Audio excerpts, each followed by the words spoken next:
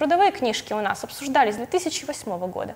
Электронные больничные с 2009 года. У нас каждый год какие-то идеи, и, и все на этом. С 1 сентября 2021 года мы вообще можем всецело перейти на безбумажный режим. Законопроект прекрасный. Э, хорош и для работодателя, и для самого работника. Мне кажется, даже многим людям будет жалко своих трудовых книг. Они хранят это даже в виде сувенира, что вот действительно такое наглядное подтверждение проработанного времени. Данный закон предусматривает две новые формы работы. Это дистанционная и надомная. Их не стоит путать, они немного отличаются.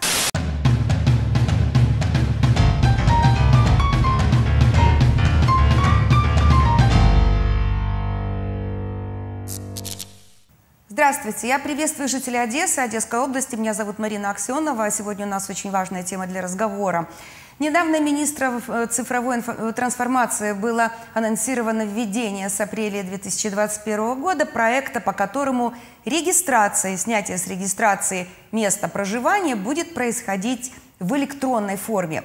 С одной стороны, это шаг к цифровому будущему государства, а с другой это еще одна интернет-плоскость, где будут содержаться конфиденциальные данные, что может не, вол... не может не волновать наших граждан. Особенности нововведений нам прокомментирует юрист, депутат Одесского районного совета, представляющий политическую партию «Оппозиционная платформа за жизнь» Лада Рыбалка. Здравствуйте, Лада. Здравствуйте. Вот э, мы действительно сейчас очень плотно столкнулись с тем, что наступает на пятки цифр, э, цифратизация, диджитализация, диджитализация и так далее. Появились вот нововведения, в частности. Начнем с регистрации и снятия с регистрацией в электронном виде. Э, ну, говоря простым языком, это то, что мы называли прописка. Прописка, То есть как человек теперь, э, вот с учетом таких нововведений, может прописываться, либо выписываться? И что из этого, чего нам от этого ждать? Регистрация места жительства в электронной форме – это, в общем-то, не новая идея. Она витает в воздухе у нас еще с 2018 года. И вот в декабре 2020 Кабмин принял такое постановление, согласно которому у нас внедряется экспериментальный проект. К слову, еще один, наравне с e-паспортами электронными. А, ну, вы да. когда говорите опять какой-то эксперимент, уже сразу настораживает, потому что проблемы с электронными паспортами, люди уже с этим сталкивались. Угу. В общем-то, да. То есть у нас э, с этого апреля 2021 года должен заработать в тестовом режиме этот вот экспериментальный проект по регистрации в электронной форме. На самом деле у нас частично этот проект работает. Мы сейчас можем поставить на учет, снять с учета детей до 14 лет, и также новорожденных мы регистрируем в портале Емалятко. Но относительно других категорий граждан такой возможности не было. Теперь в тестовом режиме мы начнем регистрировать свою, грубо говоря, прописку. Сейчас мы уже не можем этот термин использовать, но мы все его понимаем а, сами. Как это будет происходить? Нам государство теперь предлагает вносить все изменения, э, выписываться и прописываться заново онлайн, не выходя из дома. Путем э, регистрации в портале ДИЯ, всем нам известного, теперь мы просто подаем онлайн заявление, оно несложное, небольшое, в нем указываем э, свой конкретный определенный адрес, по которому прописываемся, оплачиваем административный сбор, опять же онлайн, то есть очереди в кассы нам больше не грозят. И э, таким образом в реестр заходит информация о нас, э, о нашем месте жительства, ну, касаемо адреса. Сейчас бытует мнение, что нам этот проект дает э, какую-то альтернативу, мы можем вписать любой адрес. На самом деле нет.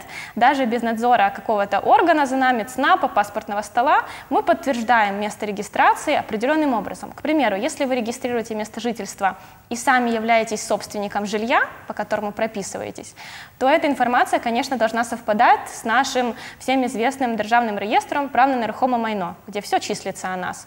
И система получит эти данные из реестра и подтвердит вам вашу регистрацию. В случае, если вы снимаете квартиру, проживаете у родственников и так далее, то автоматически подтверждение не пройдет. Тому собственнику настоящему жилья придет подтверждение в виде ссылки, и он подтвердит вашу регистрацию. То есть, в принципе, это процесс, который будет автоматизирован и от нас не будет зависеть. Мы вот просто... Вы знаете, вы коснулись сейчас как раз той темы, которая очень волновала людей, потому что, ну да, допустим, человек там сдает в аренду кому-то да. свое жилье, этот человек там регистрируется, а потом, э, вы знаете, как у нас может быть, каким-то образом еще и эта недвижимость может потом э, стать не твоей. Вот это очень важно, как уйти, как избежать э, вот, вот этих вот механизмов мошенничества в таком случае? А, ну вот здесь интересно, наше Министерство цифровой трансформации с одной стороны говорит, что мы полностью уходим от штампа в паспорте, все переходит в эту систему, и мы избавляемся от пережитка советского времени. С другой стороны говорит, что это полудекларативный способ э, как бы повествования государству о нашей прописке. Полудекларативный предусматривает, что это далеко не обязанность, а право. То есть, например, те граждане, у которых нет ID-карт, у которых паспорта в виде традиционных книжечек, они не имеют доступа к ДИИ и не могут зарегистрироваться там таким образом. То есть эта система как минимум рассчитана уже не, за, не на всех и защитить может также не всех. А аренде, о которой вы говорите, действительно у нас сейчас довольно-таки масштабный теневой рынок этого всего, потому что граждане не хотят регистрироваться как физлицо предприниматель сдавать в аренду, платить налоги за это. У нас все сдают просто в аренду и все. Этого избежать никак не получится до тех пор, пока система не будет адаптирована абсолютно для всех граждан.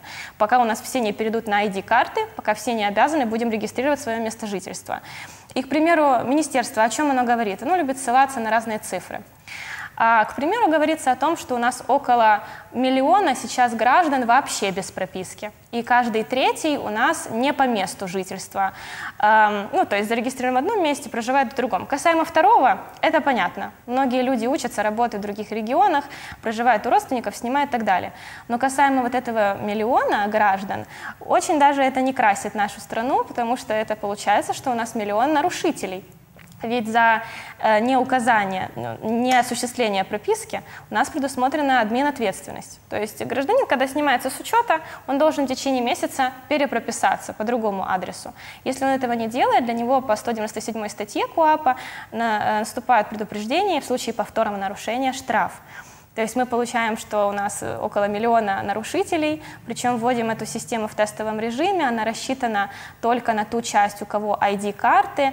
Эм, мне кажется, что такой проект, если и внедряется, то пусть где-то лет пять А вот скажите, а может быть, нужно было начинать все-таки с того, чтобы у всех были, допустим, те же электронные паспорта для начала, вот ID-карты, как вы говорите? А у нас как раз-таки нет обязанности такой. То есть, если у вас заканчивается срок там 25-45 лет, нужно поменять клеить фото, и вы пропускаете срок, либо если 16 лет, э, в общем, получаете паспорт новый, только ID. Но если у вас старый и нет причин его менять, то вы не обязаны. Никакого лимита, каких-то сроков, дедлайнов в этом нет нет. И вот, получаем то, что часть граждан может у нас и завести e-паспорт, и э, получить там электронную трудовую книжку без проблем, потому что будет на портале ДИА, и, к примеру, воспользоваться вот этой э, электронной регистрацией. А часть граждан нет. И в этих законопроектах, когда они только заходят на рассмотрение, не указывается, как быть с теми людьми, у кого нет ID-карт, у кого нет электронных цифровых подписей.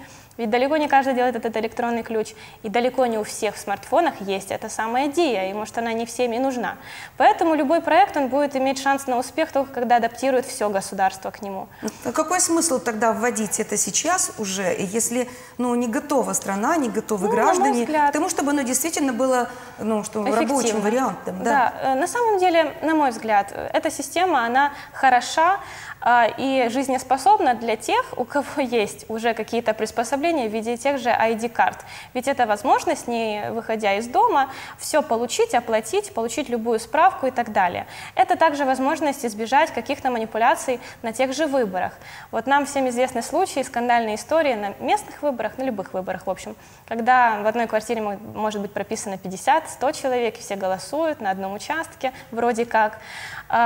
Теперь же, если система будет автоматизирована, все будет проходить через реестр, который будет в свою очередь иметь доступ к другим реестрам, подтвердить эту информацию, мы эти фальсификации сможем исключить. То есть идея, конечно, хорошая, она правильная, но тогда нужно оцифровывать все общество, а не только ту часть граждан, которая, грубо говоря, там младшие или продвинутые и так далее. Поэтому это на то и тестовый режим, что он тестовый. Мы только начнем э, с э, апреля этим пользоваться. К примеру, э, местное самоуправление должно будет завести определенные реестры территориальных громад, ведь от этого местные власти отталкиваются. Да? Сколько нам нужно школ, сколько детсадов, сколько больниц, сколько определенных учреждений, отталкиваясь, какое у них население в этой громаде.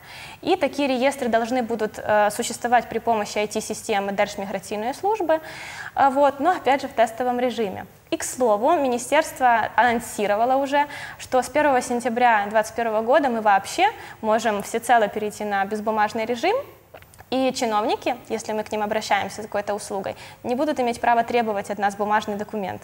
Это вообще-то очень, Вы нам очень анонсировали это очень А давно. законопроекта еще нет. Ну, а они говорят, что с 1 сентября. Вот, это точно Насколько будет мы готовы поступит. к тому, чтобы с 1 сентября это было? Вот, допустим, у нас те же ID-карты, они уже введены давным-давно, но к этой ID-карточке, маленькой, очень даже удобной пластиковой карточке, нужно Большой носить лист, большой лист, который, Да. ну, я не знаю, ламинировать, так он и в сумочку не влезет. Э, что делать, он и, и истрепался и так далее. Ну, смысл тогда в ID-карте, если нет э, приспособлений, которые читают регистрацию, которая там заведена? А для этого, чтобы исключить этот момент, у нас э, на прошлой неделе тоже было принято в первом чтении законопроект о том, чтобы e-паспорта те же приравнять к бумажным, бумажной версии.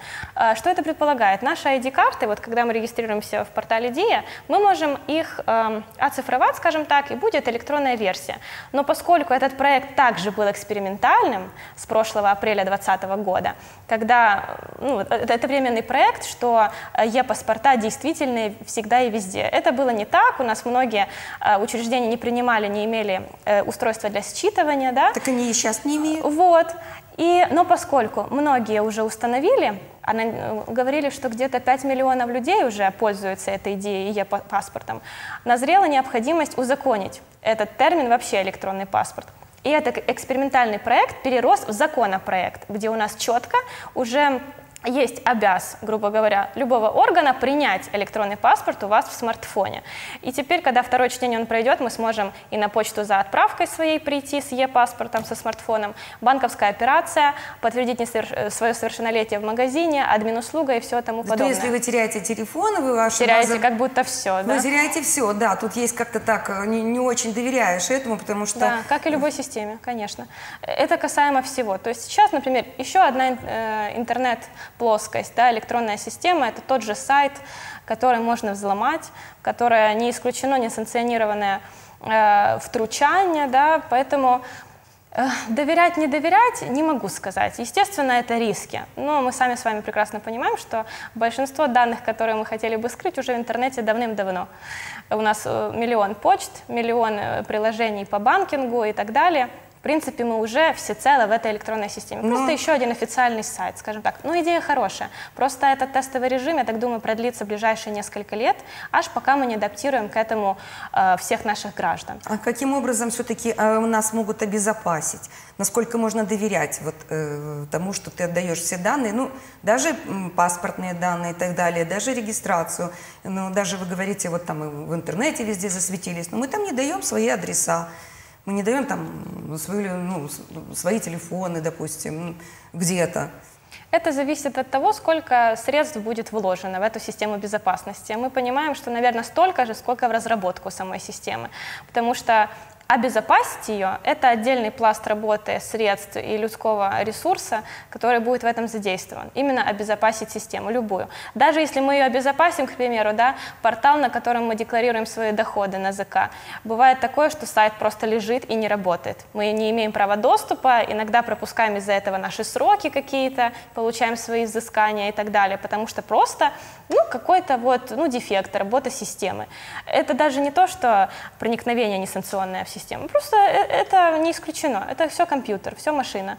Поэтому насколько от этого мы сможем себя защитить, это зависит от средств, вложенных в эту систему, и от периода, сколько оно у нас начнет как бы работать. Это же все не в единочасье. Ни трудовые книжки электронные не, не вводят в один момент, а есть переходной период, ни е-паспорта не были сразу введены да, в обиход. Это все время, и, как по мне, проект хороший, а, потому что все мы знаем, как э, выстоять. Раньше была очередь в паспортный стол. В СНАП, конечно, попасть легче, но это все равно надо выйти, надо пойти в этот СНАП, и получить номер в электронной черзе, потом оплатить через кассу, принести свой талончик об оплате и так далее. Делать это из дому, естественно, легче. Поэтому всем бы советовала переходить на ID-карты и получать электронные цифровые подписи. Э, Вот и в Украине узаконили сейчас э, электронные трудовые книжки. Вы Да. о них сейчас э, как раз вот только Затронули. затронули эту тему. Давайте расскажите нам, пожалуйста, подробнее, каков механизм и вообще что это нам принесет? Плюсы и минусы, скажем так. На прошлой неделе у нас вообще, прошлая неделя в Верховной Раде прошла под знаком цифровизации общества. Много было принято интересных актов, в частности, и закон уже э, был утвержден во втором чтении. То есть все, мы уже к этому пришли. Что он предполагает? Совсем скоро мы перейдем действительно из э, бумажных карт, э, трудовых книг на электронные. Ну, не сразу, а на это нам предусмотрено 5 лет переходного периода. Э, законопроект прекрасный. Э, хорош и для работодателя, и для самого работника. Для работодателя чем хорош? Это как минимум сократит его расходы на весь бумажный документооборот. Ему не нужно будет хранить в архивах, в кадрах огромные талмуды, огромные э, склады личных дел и тех же трудовых книг. Это во-первых. А для сотрудников это вообще целый ряд преимуществ, как я вижу. Ну, во-первых, это э, нивелирует потерю трудовой книжки, поскольку мы их можем и потерять, и физически повредить. Мы знаем, на предприятиях бывают и пожары, и потопы, и часть э, документов уничтожается, повреждается, их восстановить очень сложно и Или долго. предприятие перестает э, функционировать. Конечно. Да. Э, Ищи потом эти трудовые книги. Так это все будет реестр, электронный реестр, который будет в который будут заноситься данные через веб-портал пенсионного фонда, как работодателям, так и сотрудникам теперь. Мы также имеем теперь к нему доступ. Э, Это бесперебойный доступ, который у нас будет всегда, из этого второе преимущество, что, к примеру, если в старые трудовые книжки мы вносили только сведения о месте работы, о дату, когда зашли, номер приказа, дату, когда уволились и так далее, то теперь а в этих электронных персональных картах у нас будет храниться информация о месте работы, о трудовом стаже, о страховом стаже, об образовании, квалификации, многих вот этих вещах, которых раньше не было. И мы можем получить бесперебойный доступ к этому, получить любую справку, не идя в пенсионный фонд и не запрашивая ее лично в бумажном виде. Это занимает 5 минут через личный кабинет это уже как минимум большое преимущество. В-третьих, это снизит манипуляции самого работодателя по отношению к сотруднику, ведь мы знаем случаи, когда мы хотим покинуть место работы, а работодатель нас таким образом может задержать, не отдавать нам документы, не отдавать трудовую книжку. Теперь же это просто реестр, у вас есть постоянный доступ к нему. И четвертый момент – это, конечно, плюс для вычисления социальных выплат, зарплат, пенсий. Э, у нас есть какие-то автоматические алгоритмы, которые действуют вне зависимости от человеческого фактора. Там ошибиться нельзя. Как что начислять, за что и так далее. Как это будет происходить в ближайшие пять лет? А, у граждан будет и бумажный вариант, и электронная система. В первый раз, когда данные будут вноситься в этот реестр, работодатель должен будет приложить туда оцифрованную копию трудовой книжки. И дальше он ее не обязан сохранять у себя, когда данные перенесены. А сотрудник либо может потребовать, чтобы ему отдали ее на память, грубо говоря, либо может требовать вносить туда 5 лет, все дублируя сведения. Вносить об успехах работы, о разных э, переводах и так далее. То есть может заставить работодателя ввести оба варианта. Такое тоже есть. А касаемо рисков, э, естественно, есть риски. Э, данный законопроект даже скептически был воспринят и в Верховной Раде, главным научно-экспертным управлением, которое по всем законопроектам делает выводы. А почему? Потому что эта система довольно масштабная. Это огромный пласт работы, который требует компьютерного программного обеспечения глобального и, естественно, определенных людей на местах, рабочих единиц, которые будут это вносить. Вот я хотела спросить, а кто это должен вносить? Ведь если я вношу, то не сам я могу внести все, что угодно и да. сделать 150 ошибок, потому что... Это не исключено. Людской, э, человеческий фактор, фактор, он да. всегда есть, и здесь машина — это система, не система. Естественно, он не исключается, но э, благодаря тому, что мы тоже имеем доступ теперь, только используя электронную цифровую подпись, опять же.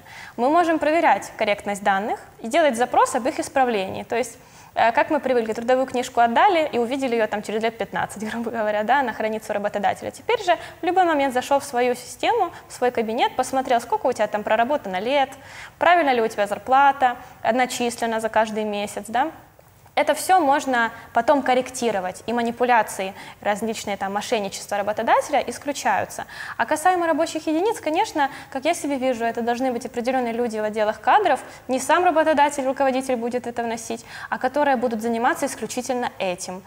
Ошибки не исключаются, но их опять же можно исправить, но это отдельные люди. И, как мне кажется, Многие, это в основном касается старшего поколения, у кого ни ключей нет, может, компьютеров даже нет. Так интернета нет? Вот интернета возьмем нет. сельскую местность, где Через это пять лет, проблематично. вот, если эти пять лет вопрос не станет, когда у нас и та, и та форма действует, то через пять лет такие люди столкнутся с большой проблемой. И им нужно будет постоянное сопровождение, к примеру, только на месте работы. Вот они пришли, у них в офисе есть такой человек, который может им все оформить. И все. И доступ они будут иметь только на рабочем компьютере. А если эта работа не связана с компьютерами, да, в законе это мало о чем там прописано по поводу таких людей, у кого нет возможности.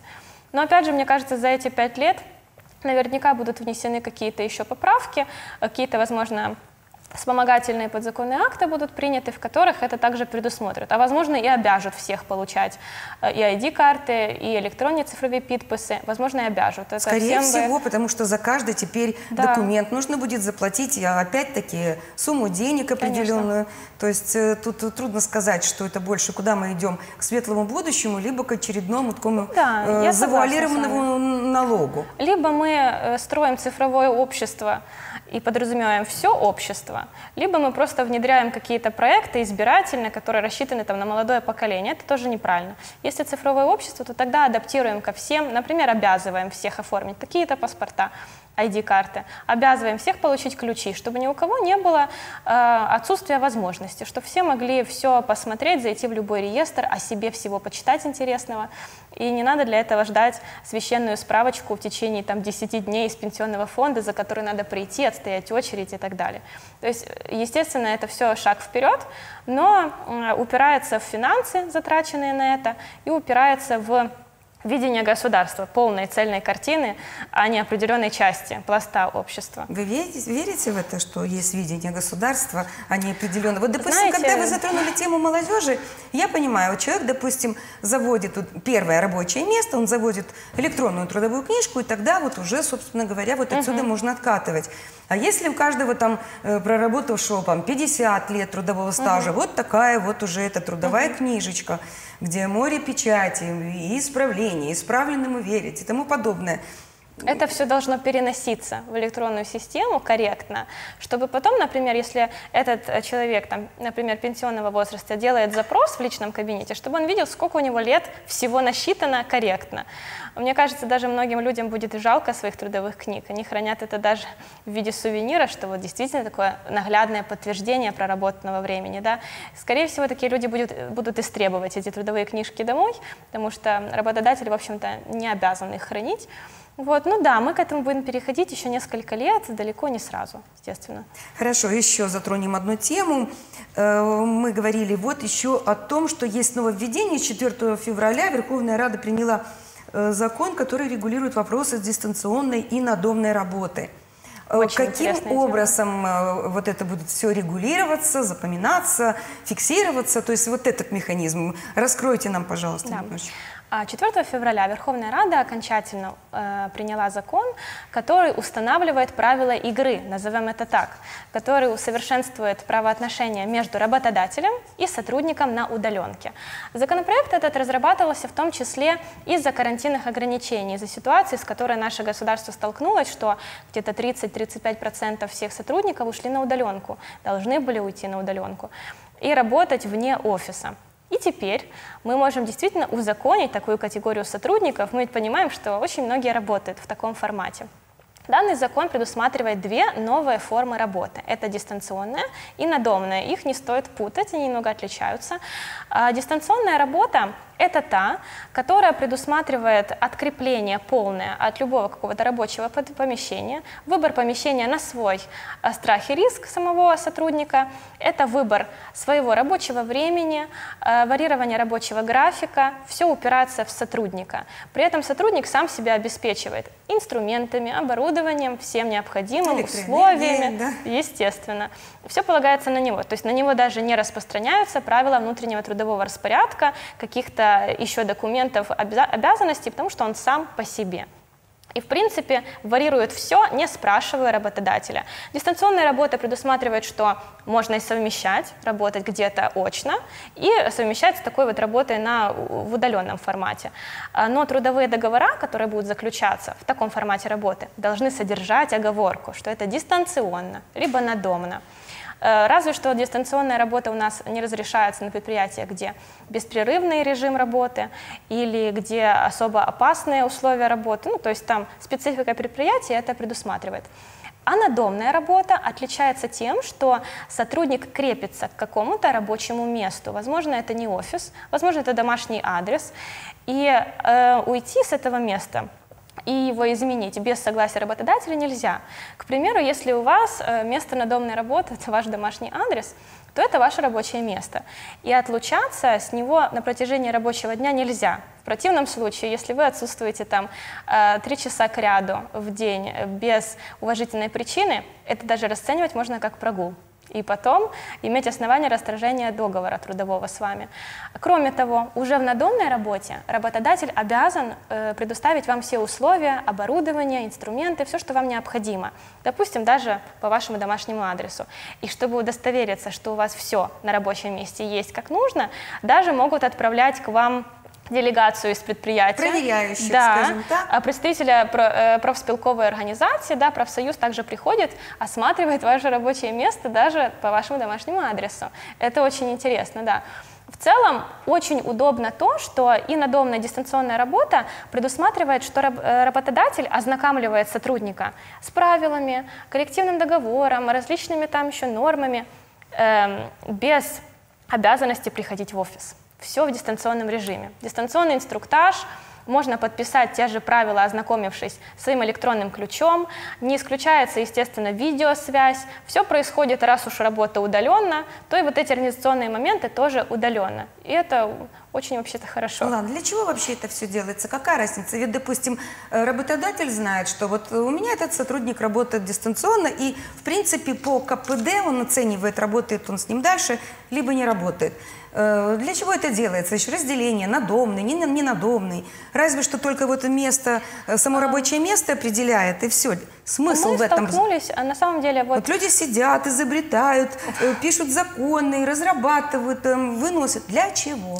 Закон для чего вообще нужен? Чтобы регулировать те общественные отношения, которые существуют в обществе. А общество у нас динамичное, оно постоянно развивается, постоянно что-то выходит новое, как вот карантин, мы все ушли на удаленку, работать по телефону, там по интернету. И законодательство тоже должно быть гибким и адаптироваться к нашим реалиям. Наши реалии таковы, что завтра объявят локдаун, мы тоже засядем дома на месяц. И даже предоставить, там, предъявить нам претензию, что мы на связь с работодателем не вышли, а должны были, у тебя же рабочий день, нам нельзя, потому что это не дистанционная работа. А дистанционная предусматривает, что как раз-таки у нас 40 э, часов рабочих в неделю, 8 в день, и есть время для отдыха, когда ты имеешь право не выйти на связь и не взять телефон. Тебе ничего за это не будет. Казалось бы, это мелочи, но каждая такая мелочь – это основание для расторжения договора, для объявления вам взыскания, выговора и так далее. А трудовые отношения такие вообще противные отношения, когда каждую мелочь можно расценить как какое-то нарушение, если захотеть.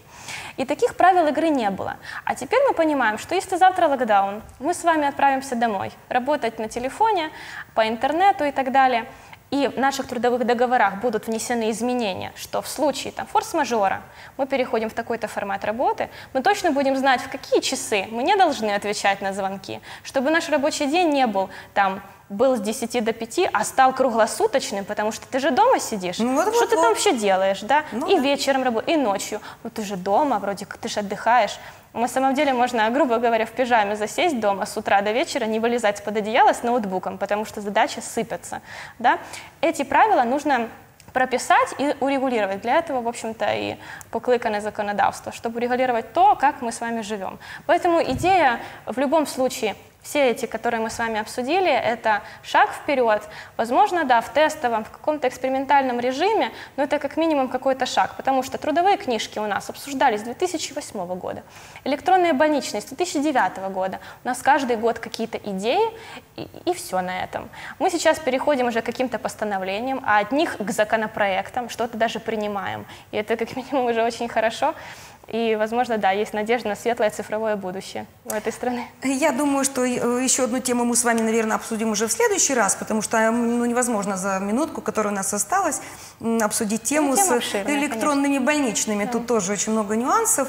И, э, но с другой стороны, я так понимаю, что вы целиком и полностью и как юрист э, поддерживаете вот Да. это направление. Это одно, наверное, из немногих позитивных направлений, которые э, Есть что власть, поддерживать, это власть правда. привнесла. Так? Да, единственное, что волнует, это конфиденциальность в первую очередь.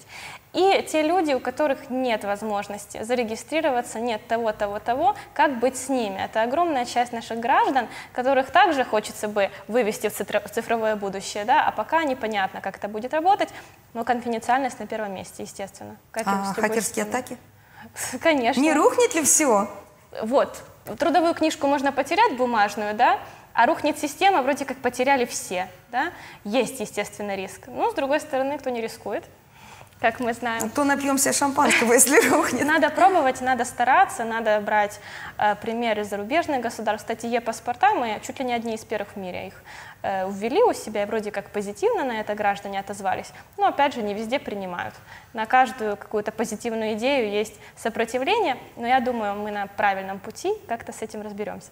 Хорошо, спасибо вам большое. Э, Уважаемые телезрители, я напомню, что сегодня мы общались с юристом, с э, Ладой Вячеславной Рыбалко, депутатом Одесского районного совета, оппозиционная платформа «За жизнь», которая вот такие, как солнечные лучики, принесла такие новости и разъяснила, что э, не все так страшно, что э, привносится сейчас, те нововведения привносятся сейчас в нашу жизнь. Спасибо вам большое, я приглашаю вас в студию к нам еще и готовьте интересные темы, потому что, ну, вот в этих вопросах, пожалуй, мало кто может объяснить.